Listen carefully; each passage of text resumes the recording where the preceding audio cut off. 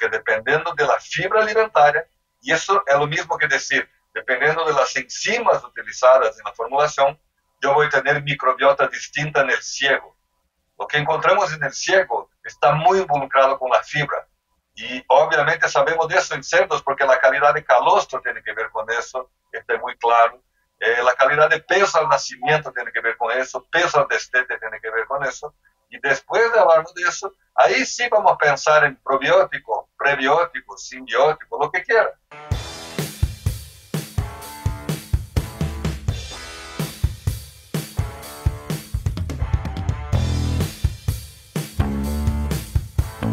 Bienvenidos a un episodio más de CerdoCast. Hoy vamos a hablar sobre inmunnutrición y tengo la suerte de presentarles a Luis Felipe Carón. Luis, buenos días. Buenos días, ¿qué tal? Muy bien por acá. Luis, es un tema que, viene en auge, que se viene desarrollando, cada vez sale más y es una suerte tenerte por acá. Y como siempre, voy a pedir que nos cuentes un poquito tu, background, eh, tu experiencia profesional y qué es lo que estás haciendo ahora. Perfecto. Muchas gracias por la invitación.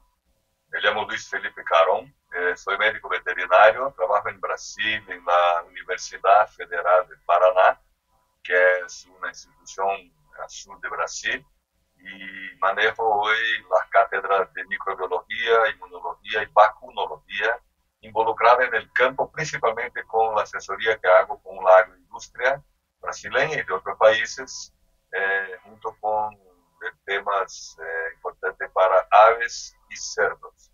Y con eso podemos también desarrollar un laboratorio acá llamado Nova que trabaja con diagnóstico y con desarrollo de herramientas para entendimiento de nuevos productos, nuevos procesos y el repasse que tiene como necesidad el uso de antibióticos eventualmente y también en este tema la nutrición como herramienta o como parte importante de la inmunidad. Excelente.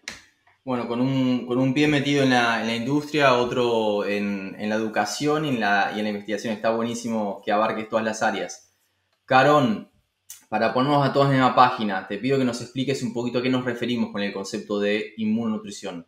Mire, el concepto de inmunonutrición ya es antiguo, la medicina humana ya proponió esto y hace muchos años trabajamos con la idea de hacer entendimiento de por qué eh, pensar en el intestino, que obviamente es donde está eh, la digestión y la absorción de nutrientes, nutrición exactamente, es hoy muy claro para todos que estamos hablando del mayor órgano del sistema inmune. Entonces, si el intestino, además de los temas de la nutrición, que es importante, es el mayor órgano del sistema inmune, trabajar las dos cosas me parece fundamental. Tal vez esto ocurra un poco despacio porque necesitamos de harta gente. Yo no soy nutricionista, mi área es inmunología, es microbiología, entonces yo tengo que entender lo que es la sanidad y trabajar con gente que es la nutrición para que juntos hagamos la mezcla del resultado final, que es la inmunonutrición, o sea, cómo la nutrición puede hacer ganar la capacidad de defensa y principalmente cuando hablamos hoy de nuestros animales modernos, aves y cerdos, estén mucho más desarrollados por el tema de velocidad de ganancia de peso, donde se está perdiendo, se podría estar perdiendo mucho por la activación desnecesaria del sistema inmune. Entonces, en realidad estamos hablando de ahogar la respuesta inmune para ganar más peso. Exacto, exacto. Cuando hablamos de, lo que es el, sistema inmune y lo que es todo lo que es microbiota, eh, lo interconectado que está el, sistema digestivo con el resto, realmente cuando uno más se pone a leer, más parece ciencia ficción. Eh, y, vos mencionaste que es, que es un área compleja porque es realmente muy extenso, son muchísimas variables cuando hablamos de, de microbiota. A mí me tocó investigar un poquito cuando estaba en, en Kansas, hacer análisis de microbiota. Eh, y hay estudios que muestran que hasta cuando uno hace, cuando uno genera trasplantes de microbiota fecal puede llegar a, a, despertar cierta respuesta inmune específica o a, a, ver, a, trasplantar también cierta resistencia a enfermedades que ni siquiera tiene que ver con el sistema digestivo. Estamos hablando de PERS, de, de circovirus. Es una cosa que uno dice, bueno, pará, eh, ¿cómo puede llegar a estar pasando esto? Y me parece que es un área realmente apasionante y con muchísimo, muchísimo para, para desarrollar. Así que, nada, eh, muy, muy entusiasmado con esta charla. Carón, te hago una pregunta. Cuando uno eh, va a formular, ¿cuáles son los, los criterios, cuáles son los, los conceptos que tiene que tener en cuenta a la hora de tomar decisiones en lo que es la formulación, sabiendo que puede llegar a impactar en, la inmunidad del animal? Mire, eh, justamente utilizando sus comentarios, es importante entender que esta complejidad solo va a nos servir si nos dejamos eso muy sencillo. Si es complejo, ponemos en la basura porque no sirve. Eso hay que ser sencillo, hay que ser simple, comprensible. Y la primera cosa que hoy es muy fácil entender que hablamos de los ejes. Los ejes, gut y alguna cosa más. Eso es siempre decir gut, lung, por eso decía ustedes, el trasplante microbiota como una idea, como una herramienta, hablando de pulmón. Gut, lung, gut, brain, gut, skin, eh, gut, alguna cosa más. Gut, liver. O sea, cualquier cosa que quiera imaginar usted, el gut es el principio. Y no soy yo que estoy inventando eso. Hipócrates, tres siglos antes de Cristo, decía que todas las enfermedades empiezan en el intestino. Bueno, si Hipócrates decía eso, ¿quién soy yo para decir que no es verdad? Pero obviamente Hipócrates no hablaba de cerdos. Vamos a traer ahora para nuestra realidad y empezar. Y a mí me gusta pensar siempre, dejar muy claro, porque cuando la persona está oyendo eso, imaginan, ah, qué bueno, vamos a ir ahí la fórmula mágica de comprar un paquete de un aminoácido y mañana ya está. No, no, no, no.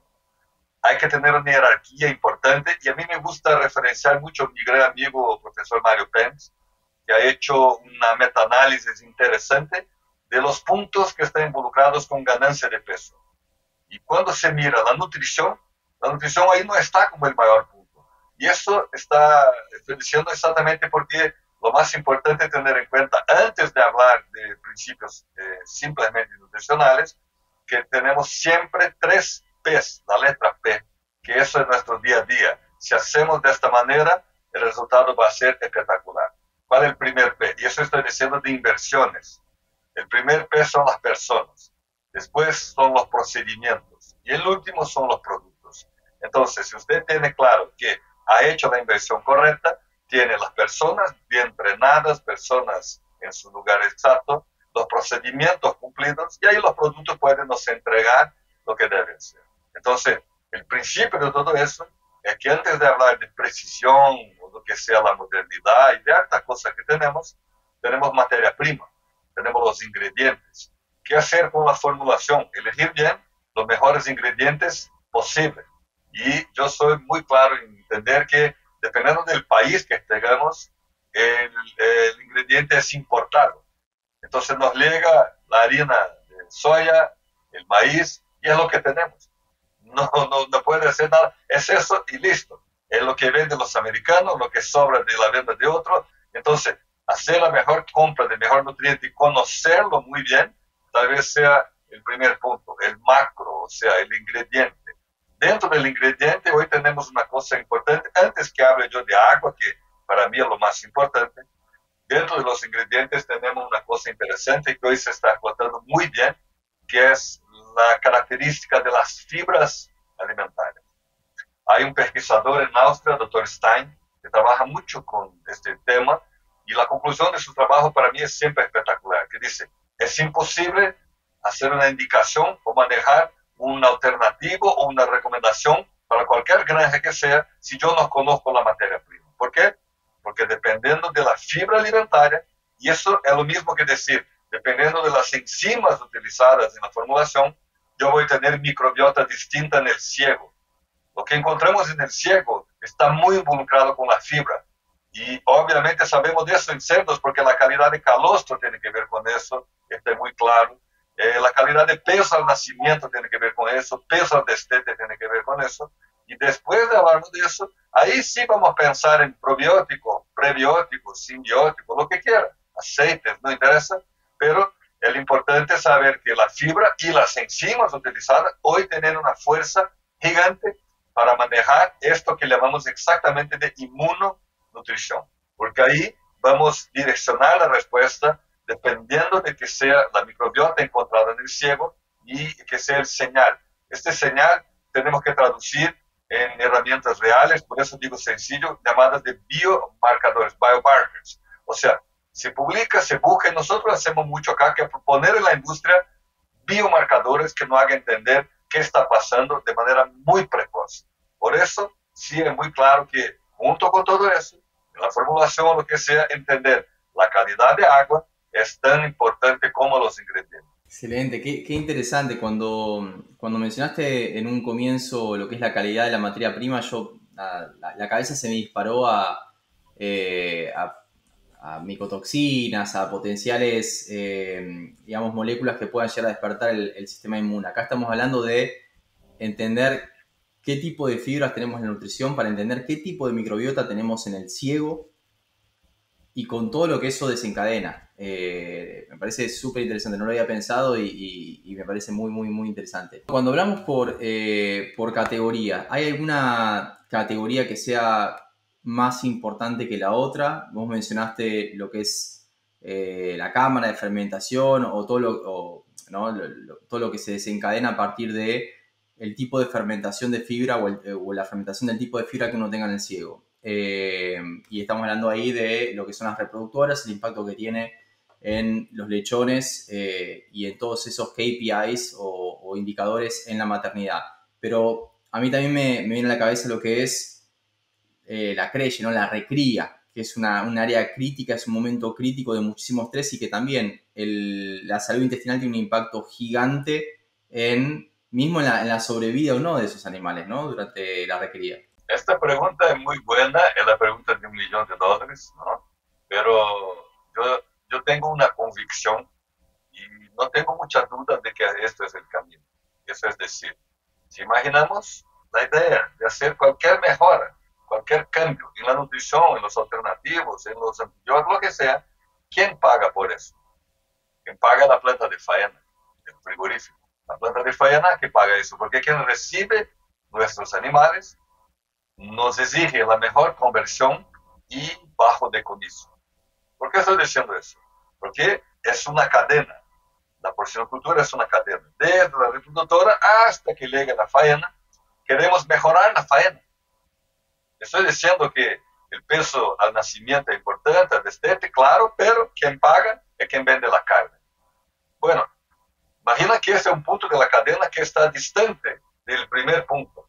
¿Y cuál es el primer punto? vamos a asumir como primer punto la reproductora. Obvio que tenemos la planta de alimento junto con eso, ese es un punto importante también, pero dejemos por ahora y para responder tu contestación le digo, la categoría más importante, más importante para arreglar cualquier cosa hasta la faena es la reproductora, ninguna duda. Si quiere usted una mejora en recría, si quiere usted bajar enfermedades, si quiere usted mejorar cualquier cosa en recría, hay que manejar la reproductora. Es en la reproductora tenemos que mejorar toda la condición, sea de nutrición, sea de alternativos y principalmente de ambiente, de ambientes necesarios para que el arranque sea bueno. Y entienda como el arranque, la concepción, o sea, el día que el espermatozoide encuentre el óvulo, ahí ya arrancó. Y ahí todo eso que pasa dentro del útero, durante la gestación, durante la lactación y hasta que llegue al final tenemos que empezar. Entonces, para mí, esta es la categoría más importante de todas. Y tal vez, tal vez, junto con el tema de que estamos discutiendo acá, ya que inmunonutrición, eh, buscar entender mejor los indicadores que nos dicen el nivel de estrés de estas hembras. Y el nivel de estrés está involucrado con el preparo de, de las marranas, o sea, el preparo de estas madres. Entonces, imagina que tenemos que hablar de recría, pero si no hacemos el preparo ideal, y esto es básicamente nutrición, y ahí les digo, yo no soy nutricionista y nunca entro en temas de, de formulación o lo que sea, porque no, no es mi playa, pero como trabajo con salud, yo sé exactamente que aquello que me ayuda a preparar muy bien la hembra, esto garantiza cualquier cosa, garantiza cualquier cosa hasta la falla. Entonces, la nutrición ahí en este punto tal vez sea el manejo más importante de todo. La, preparación de la, de la, cachorra, importantísimo, ¿no? Importantísimo. Em, y acá cuando hablamos de, de, qué consideraciones tener en cuenta a la hora de impactar esa, esa inmunología de, de, lo que son las, las, marranas, como mencionabas, de lo que son las reproductoras, ¿qué herramientas eh, podemos llegar a utilizar? ¿De qué herramientas disponemos a la hora de asegurarnos que estamos eh, impactando positivamente el, desarrollo de esas, esas reproductoras. Mencionaste fibra en algún momento. ¿Podría la fibra, por ejemplo, ser ah, una herramienta nutricional como para tener una buena inmunología y un, buen desarrollo de los lechones? Yo imagino tres cosas. Ah, no sé si voy a intentar explicar cuando usted pregunte herramienta, una herramienta antes y una herramienta después. Para mí, eh, intento entender así. Voy a explicar. Una herramienta antes es el substrato, el producto. Y ahí como el producto, imagino tres situaciones. Una es la propia fibra, como manejamos, sea eh, conocer la materia prima, el ingrediente, sea la fibra artificial sintética que podemos eh, agregar. O sea, es la fibra. Entonces la fibra sí, sin duda, va a determinar la microbiota. La microbiota va a determinar muchas cosas. Perfecto. La otra posibilidad son las enzimas porque las enzimas hacen cambio en las fibras.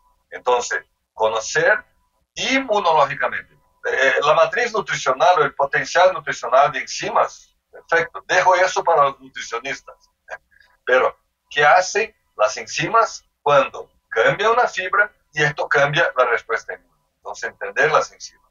Y la segunda y la tercera cosa, disculpe, es antes de la fibra y antes de las enzimas, bacterias o hongos que producen enzimas. Por eso hoy se habla mucho de probióticos que son productores de enzimas y ya se va a empezar, ¿cómo se hace con prebióticos? A poner peso como matriz nutricional hasta para probiótico. ¿Por qué? Porque el probiótico puede producir enzimas que cambia la fibra, que cambia la microbiota, que cambia la, que cambia la microbiota. No es decir simplemente el probiótico llegó al, al ciego y ahí está. No, es más que eso. Entonces, esto es herramienta antes. Y herramienta después es cómo comprobar, cómo verificar que sí algo está pasando. Mucho antes de tener peso de nacimiento, peso de destete y calidad de faena. Entonces, son principalmente las pruebas que tenemos de utilizar biomarkers o biomarcadores involucrados con inflamación, que es lo mismo que decir estrés y que es lo mismo que decir calidad de respuesta inmune. Entonces entienda, respuesta inmune, mucha gente entiende, ¿cómo hago sacar sangre y medir anticuerpos? No, eso este es muy pobre, es muy pobre, porque esto está despacio y este es muy pequeño. Es importante, claro, pero antes de eso podemos entender las células involucradas en el colostro, la transferencia de células en calostro más que anticuerpo y las proteínas de fase aguda. Imagina usted que los aminoácidos los nucleótidos o involucrados con formulación tienen poder de manejar la calidad y la fuerza de las proteínas de fase aguda, que son indicadores de una inflamación. Un cerdo para producir un gramo, un gramo de proteína de fase aguda consume 6 gramos de músculo. Entonces, eso es decir, perder dinero. Entender la fagocitosis, que es el primer paso, el first step de la respuesta inmune, fagocitosis el macrófago, no vamos a entrar en cosas muy complejas, pero el macrófago reconociendo patógenos. Perfecto. Un macrófago haciendo fagocitosis consume 10 veces más ATP, es decir, energía, que un músculo cardíaco en trabajo máximo. Entonces imagina la cantidad de maíz y soya que estamos poniendo a la respuesta inmune. Pero, ah, entonces el macrófago dice cuánto gana de peso. Bueno, hablé de Stein que dice las fibras la temperatura de agua, temperatura de agua, hace un esfuerzo de pérdida de energía gigantesca para producción de muco, muco en la tráquea y muco en el intestino. El muco dice cómo va a ser el precio de la respuesta inmune y está involucrado con el intestino. Entonces, agua es fundamental para garantizar la mejor fagocitosis, la mejor calidad de célula, la mejor integridad, tight junctions, integridad intestinal, y entonces estoy diciendo, tenemos hartos, puedo manejar acá 20 indicadores que tengo que elegir para decir, cambio la fibra, cambio la enzima o cambio el probiótico. Tengo que medir eso inmediatamente. ¿Dónde está el gran problema de la inmunonutrición? El gran problema está en manejar ideas, propuestas y no medirlas. Medirlas no es tener o no tener enfermedad. Medirlas es decir, ganar más o menos peso en más o menos tiempo. Mencionaste mm, que a través de, lo que es el manejo de fibras uno cambia la microbiota, cambia esa cámara de fermentación, cambia los ácidos grasos volátiles y puede llegar a impactar en lo que es tanto la calidad, la cantidad de, calostro y también la producción eh, o, también en, esos, ese desarrollo, eh, esa performance de los lechones. Para el que no diga o, el que no quiera hacer esos pasos de estudiar los biomarcadores porque simplemente es, muy complejo para algunos sistemas eh, implementarlo en granja. Podemos evaluar parámetros productivos a la hora de estudiar estos cambios, estos, eh, estas variables que uno incorpora a nivel nutricional, a nivel enzimas, a nivel probióticos, ¿podemos llegar a encontrar algún tipo de resultado más tangible en lo productivo? Mire, si no encontrar, no sirve. Lo que interesa para el cliente es, es decir, al final de cualquier propuesta, el resultado. Y los resultados son parámetros productivos. Entonces, imagine que yo puedo medir biomarcadores, puedo hacer propuestas de procedimientos y productos, pero al final tengo, tengo que encontrar los principales parámetros productivos. Y obviamente cada uno puede medir lo que le encuentra, le entiende como principal, pero si yo estoy imaginando que la cachorra es importante y la gestación es importante, y es decir, peso, calidad del animal, viabilidad de este cerdito al nacimiento, calidad de calostro, estos son parámetros productivos. Hoy podemos medir muy fácil la calidad de calostro. Se hace en ganado, como se hace en cerdo, con un refractómetro y imaginar la calidad proteica de este este calostro, la inmunoglobulina, lo que sea. Puede medir, este es un parámetro productivo. El inmunócrito del lechón se puede medir, sacando sangre y es decir, la absorción está buena. Esos son parámetros productivos. No es lo que está haciendo el productor, no se vende, eso no se vende. Entonces, me interesa parámetro productivo que se vende. ¿Qué se vende? Se vende lechón. Entonces, tener un buen peso al nacimiento es un parámetro productivo. ¿Eso está involucrado con la nutrición? Totalmente, 100%. Un peso al destete, 100%. Pero hay que tener en cuenta, fíjate que decir 100% no quiere decir la única cosa. Hoy es muy fácil de probar qué hace vacío sanitario, limpieza y desinfección en peso al nacimiento y peso al destete. Eso obviamente es muchísimo más importante que inmunonutrición. Muchísimo, porque ese es el procedimiento pero son conceptos antiguos, vacío. Eh, ya hace un chiste cuando digo antiguo porque los más jóvenes no conocen este término vacío. Es una cosa que utilizábamos antiguamente. Es un chiste para decir, la presión de producción es muy grande, hay poco tiempo. Entonces esto nos hace un cobro muy grande. Por eso la esperanza o la confianza de que un polvo, una cosa mezclada en plantas de alimento, resuelve eso. No resuelve. Imposible. Pero Sabemos cómo puede mejorar. Parámetro productivo sí es lo más importante. Biomarcadores, el medio. El medio para probar el fin. El fin son parámetros productivos. Excelente, excelente. Me vienen varias, varias preguntas que, y, te quiero aprovechar para, para sacarme estas dudas. Cuando uno está, formulando, yo sé que no, no trabajas en la formulación, pero sí entendés muy bien lo que es el sistema inmune y cómo reacciona a ciertas variables dentro de, eh, de la formulación. ¿Uno puede formular en función del desafío sanitario que tenga en granja? De verdad, yo creo que aún estamos lejos de eso. Sí puede, pero el resultado no creo que va a ser siempre bueno. ¿Por qué? Porque cuando tenemos en cuenta la idea de formular y en esta formulación eh, poner treonina, voy a hacer un ejemplo sencillo. Treonina porque eso mejora la calidad de muco y entonces los problemas respiratorios, lo que sea. No creo que esto va aún sea el camino, porque en la inmunonutrición el gran problema es que cuando nos fijamos en un reto, nos fijamos en un objetivo, imaginando que hacer una mezcla, una premezcla, una formulación dedicada a eso, podemos sí ganar eso, pero no sabemos lo que estamos perdiendo de los otros. Entonces, lo que se ve hoy es que siempre que se gana en una parte, se pierde en otra. Y al final, es volver a nuestros abuelos y decir, el equilibrio es bueno. Bueno, y ahí el equilibrio sea a través de la nutrición, no tanto aún la nutrición de precisión, no porque yo no creo en la nutrición de precisión, lo creo, sí, pero aún es incerto los efectos sinérgicos, simplemente aditivos o antagónicos de hacer un esfuerzo imaginando o pensando en un tipo de beneficio o de reto.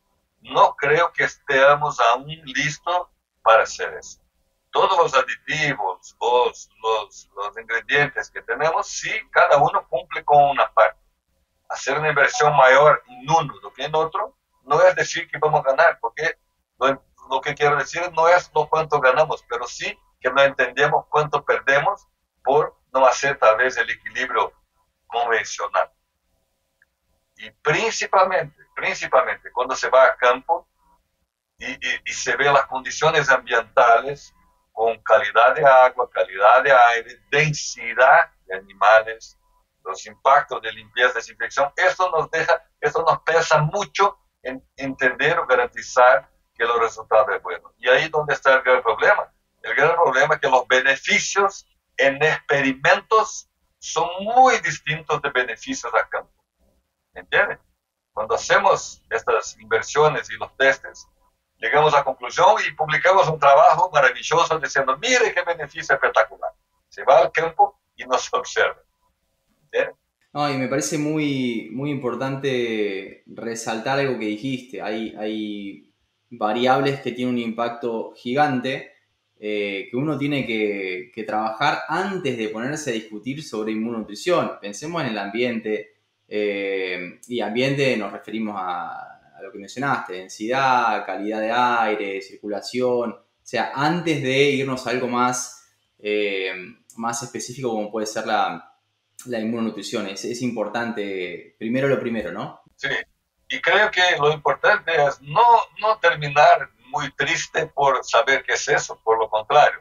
Porque alguien puede imaginar entonces, ah, entonces la inmunonutrición no, no tiene espacio, porque tenemos que arreglar otra cosa. No, estamos diciendo al contrario. Sabemos que tenemos que arreglar. Por eso dice, personas, procedimientos. Después de que hagamos lo mejor que se puede hacer, y lo mejor para cada industria, para cada empresa es distinto, ahí podemos entrar en la inmunonutrición, es decir, bueno, mire, acá es posible que un manejo con X nucleotídeos y hay, eh, por ejemplo, aditivos con nucleótidos que se conoce muy bien el poder que tiene para mejorar células, linfocitos. Es hacer la inversión para saber que el muco puede mejorar o que la sensibilización de estas proteínas de fase aguda baja. Esto es muy conocido. Tenemos hartos trabajos con algún, algunos tipos de aditivos, con prebióticos, con probióticos y también con enzimas y con todo eso. Entonces, involucre esto y la jerarquía de cosas pasa por la fibra, enzima, probiótico, prebiótico, lo que sea. Eh, eh, claro que cuando hablo prebiótico es casi lo mismo que hablar de fibra, no es exactamente lo mismo, pero son caminos que son sinérgicos muchas veces. Carón, hablaste bastante de lo que es eh, el sitio 1 de las reproductoras y mencionaste, trajiste a un, al Dr. Stein para hablar de la importancia de entender el sustrato. Pasando a lo que es la etapa siguiente, eh, hablando de la recría, yo te traigo otro investigador que es uh, John Plasky. Hizo estudios evaluando diferentes tipos de fibra y el impacto que esto puede llegar a tener eh, en la salud intestinal, en, los lechones, eh, pensando en un escenario de retiro de antibióticos y todas las limitantes que sabemos que se vienen me imagino que aplica el mismo concepto en términos de, eh, del, impacto que puede tener la fibra en la salud intestinal, ¿no? Hablamos de, fermentación, hablamos de ácidos grasos eh, volátiles, hablamos del impacto que puede tener en la, en la modulación de la microbiota, ¿no? ¿Crees que la fibra puede ser un, una herramienta clave en el futuro a la hora de eh, reemplazar o reducir el, el uso de antibióticos? Bueno, creo que el camino más fácil para no solamente evaluar, pero también avanzar con esto, es entender que si pensamos junto con el sitio 1, después de la recría entonces, o después del destete, ¿qué pasa con eso? Antes de hablar de los impactos también ambientales, etcétera, eh, ah, es importante entender qué significan las barreras intestinales. Y eso está totalmente involucrado con inmunonutrición, porque inmunonutrición es tener una función de barrera bien construida, bien hecha. Y la barrera, hablando simplemente del intestino, sabemos que hay otras, pero como eje principal, como origen, ¿no? ¿Dónde viene, cómo se caracteriza la barrera intestinal? Eh, un componente importante es la barrera fisiológica, o sea, la célula, el enterocito. Perfecto. Otro es la barrera microbiológica, la microbiota. Otra es la barrera química, los ácidos grasos volátiles. Ácidos grasos volátiles es importante. Y otra es la barrera inmune. Entonces imagine que cada una de estas barreras tiene que estar bien construida. Para hacer eso, después, vamos a imaginar, después del destete, eh, empieza un periodo muy crítico para el animal, que empezar a conocer otro tipo de materia prima, y ahí llega el alimento y tiene que entregar a ese animal sea con sustitutos lácteos en algún tiempo, sea con eh, alimentos en polvo, sea con la principal calidad de este tipo de alimentos al principio, es permitir la buena construcción de esta barrera. Yo imagino, química, haciendo eh, referencia a los ácidos grasos volátiles que usted comentaba, que son fundamentales, son fundamentales, que hacen la retroalimentación para la barrera microbiológica, o sea, la mejor microbiota, que hace la retroalimentación para la barrera fisiológica, que son los enterocitos. Entonces, sin duda, conocer eh, alternativas, además de la fibra, de la materia prima, ahí en este punto, para también poder medir, y ahí está, ¿qué quiere decir medir? Tal vez ahí estamos hablando básicamente de conversión alimenticia y ganancia de peso. Medir la mejor conversión alimenticia y ganancia de peso como finalidad, como fin, nos ayuda a entender herramientas de medir el nivel de oxidación del animal. Y ahí empieza un nivel de oxidación gigante, porque es salir de leche y empezar el alimento crudo. ¿Qué es decir oxidación? Oxidación es exactamente el primer paso de la inflamación. Pero es tan poderoso, tan impresionante. Nosotros hicimos trabajo hace muchos años con una herramienta que es de la medicina humana, que hace con trasplantes y adaptamos para cerdos y trabajó muy bien, que es entender el nivel de oxidación, pero con una precocidad gigante. No es medir radicales libres o antioxidantes. Es básicamente en HPLC una relación cistina-cisteína. Entonces, mire, más una vez, la nutrición involucrada, pero eso crea un fingerprint, una huella, como si fuera una huella de inflamación, que dura por toda la vida. Y para nosotros fue tan impresionante que si manejamos un indicador, que es la diarrea, cuando nosotros medíamos este parámetro oxidativo, era como percibir casi una semana antes que iba a ocurrir diarrea. Y esto pasó. O sea, el poder que tienen los indicadores inflamatorios involucrados totalmente con la nutrición van a nos permitir entender cuál es la mejor manejo nutricional para garantizar poca oxidación en el intestino. Y claro, eso está involucrado con los niveles de antioxidantes y con la generación de eh, radicales libres, sin duda ninguna. ¿Por qué? Porque dos bacterias principalmente, hay altas, pero hablando de dos, fácil de comprender, eh, se aprovecha mucho de eso. La salmonella, que con el tetrationato que se forma en el intestino como consecuencia del eh, de, de que está, y la Escherichia coli con la nitratase que tiene para consumir el óxido nítrico que se genera como marcador inflamatorio. Las dos bacterias crecen mucho. Háblase hoy del overgrowth. Overgrowth de esta bacteria, consecuencia de un distress. Un distress, una disbiosis. ¿Y qué hacen estas bacterias? Hacen la pérdida de rendimiento, hacen la diarrea, hacen la quebra de barreras y así por delante. Excelente, no, clarísimo, clarísimo.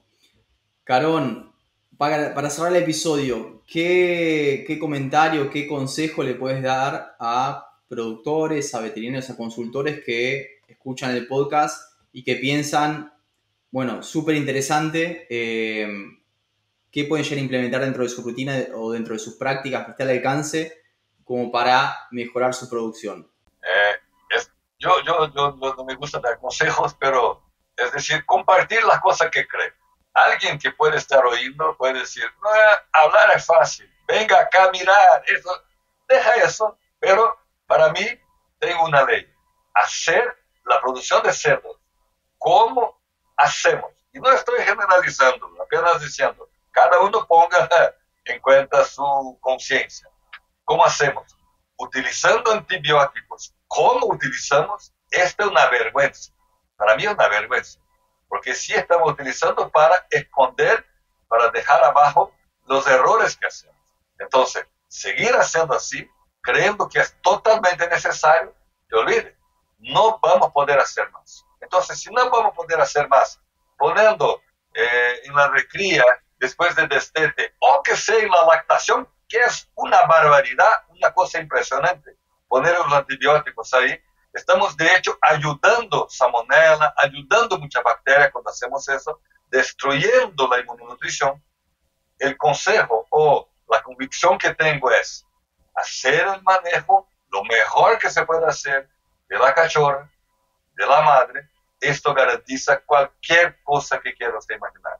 Voy a compartir acá una información que cosechamos hace poco tiempo de un teste muy grande en dos realidades y esto fue interesante porque teste que empezó en laboratorio, empezó el desarrollo del producto y conocer los biomarcadores de salud intestinal y de nutrición.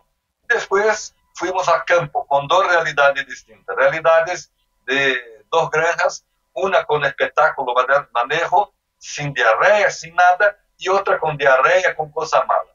El resultado fue lo mismo, y esto fue impresionante. ¿Cuál es el resultado? Manejar con un aditivo o con una, una idea de, de, ingrediente. La madre fue mejor lo que poner en la madre y en el lechón. O sea, te olvides del lechón, haga solamente la madre. Deja que la madre cuide del lechón. Es mejor que usted. Entonces, la inversión en la madre garantiza la calidad del lechón. ¿Hasta cuándo? Hasta la faena. Siempre. Bueno, yo no sé cuántos orígenes tiene en la granja. Tiene un origen. ¡Qué espectáculo! No va a tener problema. Hay granjas que tiene 15 orígenes. Te olvides, con 15 orígenes hay que mejorar hartas cosas. La inmunización va a garantizar que haga solamente eso sin antibióticos. La cosa no es pensar sin antibióticos es pensar con uso racional. Y la inmunonutrición es la base, la inmunonutrición es la base para llegar a eso.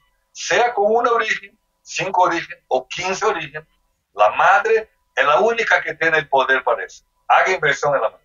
Excelente. No, me encantó, me encantó como cierre eh, y, y, gracias por compartirnos ese estudio. Carón, no me queda más que, que agradecerte por, por, participar de Cerdocast, compartirnos eh, tu experiencia. Y, bueno, te llamaremos, hablaremos eh, en un futuro cercano para que nos sigas compartiendo esta, esta área de, investigación que estás desarrollando, que, que encima lo ves de manera aplicada y es lo que, lo que más interesante me resulta, porque a veces uno se imagina y, parece bastante abstracto, pero estás haciendo no solamente lo básico, sino también lo aplicado que te da ese, ese feedback, ese retorno a, a toda esa inversión que estás haciendo. A mí me gusta, a mí me gusta pensar, como decían los grandes pesquisadores, siglo XV, siglo XVI, no existe ciencia básica o ciencia aplicada, existe ciencia útil solamente. Y eso es lo que hacemos nosotros. ¿Qué es ciencia útil? Es entender desde el principio cómo al final se paga por eso. El resultado me interesa. Entonces, cada vez más vamos a poder hablar de eso. Indicadores que nos dicen cómo manejar el ingrediente, cómo manejar el aditivo, cómo manejar la medida antes que llegue a la faena, que llegue a la concepción, que llegue al parto, al destete, siempre es decir antes. Que después ya fue, ya nació, no más. Ya ha hecho el destete, ya perdió. O sea, siempre tenemos que dar un paso antes. Entonces, por eso también le agradezco la invitación, es siempre un gusto eh, porque en realidad cada vez que esta oportunidad surge, yo estoy siempre aprendiendo. La persona tiene la ingenua idea que yo voy a enseñar, yo no enseño nada, yo solamente aprendo. Y me gusta por eso estar en el campo, estar en la investigación, porque aprender todos los días, la obligación que tenemos es compartir eso con cualquier uno que sea. Carón, muchísimas gracias. A ustedes, hasta luego.